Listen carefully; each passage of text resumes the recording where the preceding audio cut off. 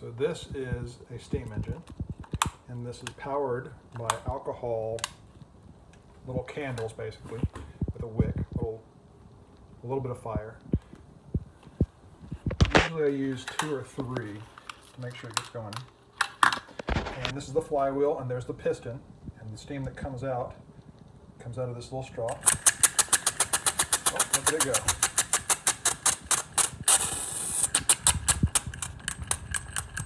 So once it gets going, it can go pretty good. It's got enough steam going to it. It's a little finicky. But that little piston keeps pushing the flywheel, and the flywheel carries the piston back around. And it's a little bit teetering off. Maybe I don't have enough water in there. You have to keep refilling it with water. Make sure it has enough water in the boiler. So the steam comes out of here and goes underneath and up into this piston. And because the flywheel opens and closes the valve to let the steam in and out of that piston. You can see there's a puddle of water that's accumulating here.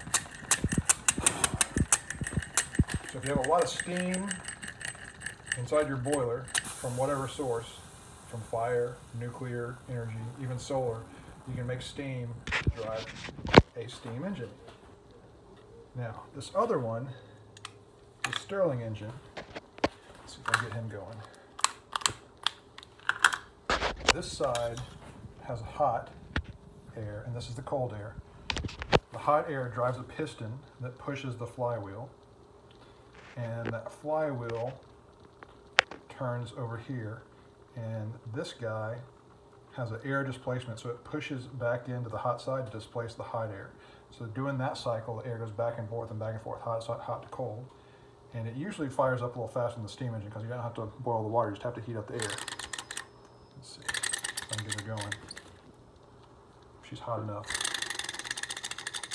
The interesting thing about this guy, he's got a rubber band attached to a generator. So we haven't talked much about generators, but an electric motor, if you put electricity in, it spins. If you put mechanical energy into some types of electrical engine motors, you can generate electricity. You have to get that flywheel going, you have to give it a little kick to get the flywheel moving on the Stirling engine. And if he does fast enough, he'll actually generate electricity and light up the little LEDs in there. But he's not quite going fast enough yet. Once he gets hotter, he might go a little faster, but he's a little older and he's got a little more friction than he used to have. I don't see the lights. It doesn't seem to be lighting up. Going. Oh, there he is. You see a little bit of blue showing up when it goes a little faster. It generates enough voltage.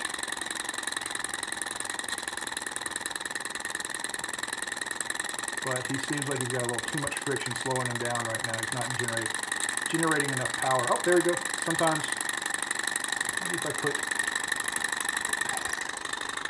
two guys in there, a little more heat. Oh, there he goes. He's doing okay. So turning heat energy into mechanical energy with a steam engine or with a Stirling engine, and then mechanical energy into electrical potential, and light energy.